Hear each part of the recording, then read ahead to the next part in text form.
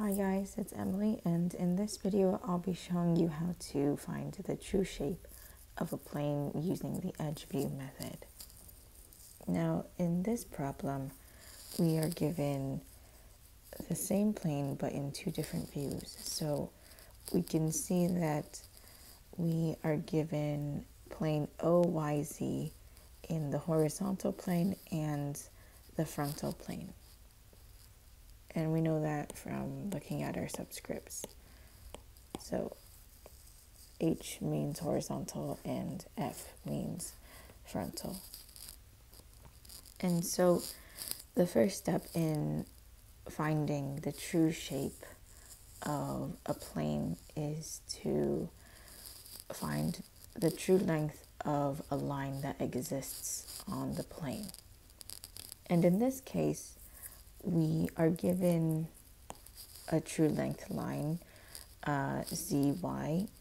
And so the way that we know that is because if we look in our frontal plane, we can see that zy is parallel to our HF folding line. And so that means that in the adjacent horizontal view or horizontal plane, zy is a true length. And so now that we've obtained a true length line on the plane, uh, what we want to do is we want to make an extension line that extends this true length line zy in our horizontal plane.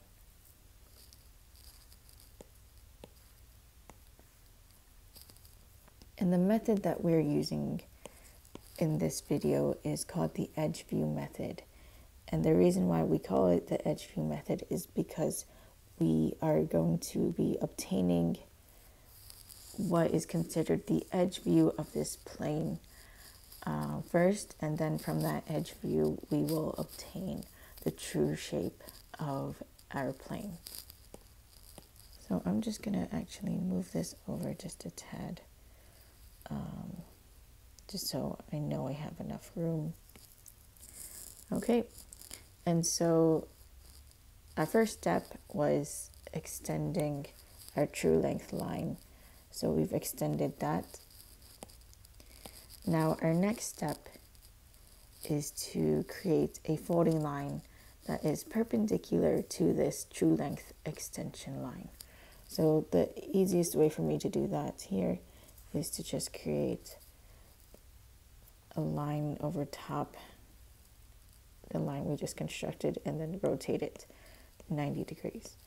And I'm placing this folding line uh, pretty close to my plane in my horizontal view.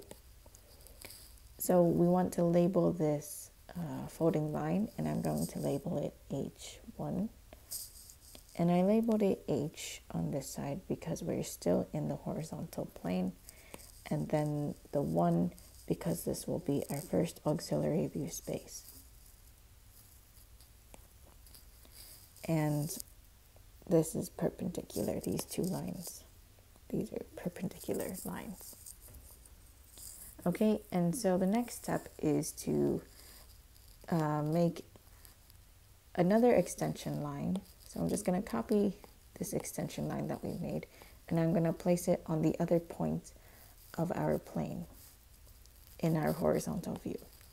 So now that we have these two extension lines, um, the next step is to count two folding lines back. So from our most recently drawn folding line, which would be folding line H1, so this would be 1 and 2. So 2 would be our HF folding line. And so now we are in our frontal view or our frontal plane. And the next step is to take the perpendicular distance from our HF folding line to each of our points in our frontal view. So I'm going to go from my uh, HF folding line to my point O and I'm doing that the same or I'm doing the same thing with point Z and with point y. And so now I want to take these distances that I've just measured and I'm going to place those onto my uh, newest extension lines. So I'm taking this distance from my point O and I'm placing it on our extension line O, but in our auxiliary view. So I'm just going to rotate this slightly so that it fits right on our extension line. And I'm labeling it as well. So this is point O. And now I'm going to do the same thing for Z and Y. And as you can see, uh, point Z and Y lie on the same, uh, well, they're in line with each other. So that means that the distance that we've obtained uh, from our HF folding line to each of our points in our frontal plane is the same. So I just need to take one of these lines and place it uh, onto the extension line in our auxiliary view. So I'm just going to rotate it slightly and place it on our extension line. So the end of this line represents point Z and Y. Then we connect our points, and this line that we've just created is considered our edge view. So we can write edge view or EV for short. Okay, and so now that we've done this, um, the next step is to create a line that is parallel to our edge view. And this will be our second folding line that we're adding. So I'm just creating a line over top our edge view and then placing it above our edge view. And so these two lines are parallel and it's good to label all of our folding lines. So I'm going to label this 1 and 2. And I labeled this 1 on this side of the folding line because we are in our first auxiliary view. And then we're going to put our second auxiliary view in this space. And in our second auxiliary view, we will be obtaining our true length or our true shape.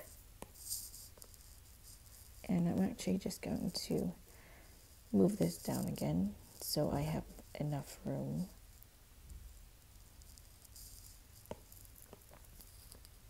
Okay, and so now the next step that we need to do is uh, we want to create perpendicular lines um, that will be our extension lines from our edge view points. So these or this line that I'm drawing is going to be perpendicular to my uh, my folding line that I just drew. So I'm just overlapping them first and then rotating it. And then I'm placing these on the points um, in our edge view.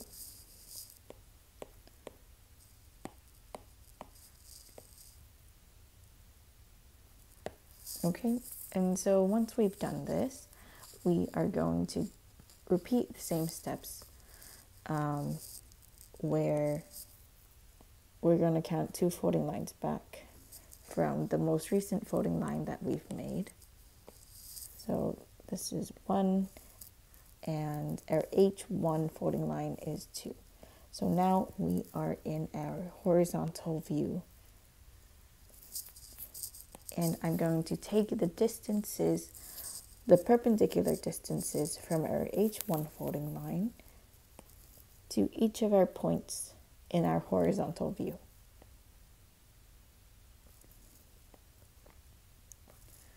Okay, and so I'm going to start with uh, the distance that I found that goes from our H1 folding line to point Y in our horizontal plane.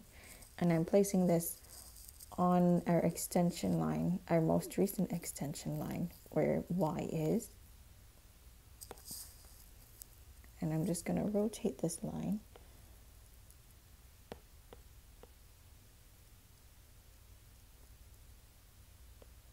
Oops. it is a kind of small line, so I need to tweak it just the tiniest bit. There we go. Okay, and actually I'm going to shorten this extension line just so it doesn't interfere with our our second auxiliary view. Okay, and so I'm going to label this point. This is point Y. And now I'm going to do the same thing for point Z. So remember that uh, Y and Z in our edge view are at the same location. So we're going to use the same extension line um, to place the distance uh, that we obtained from our previous view for point Z. So point Z goes here. And then lastly, we have the perpendicular distance from our H1 folding line to our point O in our horizontal plane. And so I'm just replacing this distance in our second auxiliary view. Oops. And I'm just going to rotate it slightly and finally place it.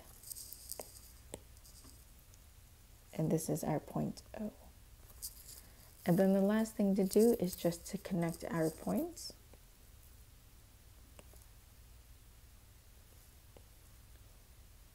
And now we have officially obtained our true shape.